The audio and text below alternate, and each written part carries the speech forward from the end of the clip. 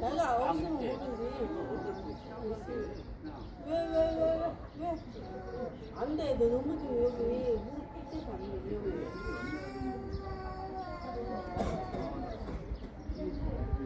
안돼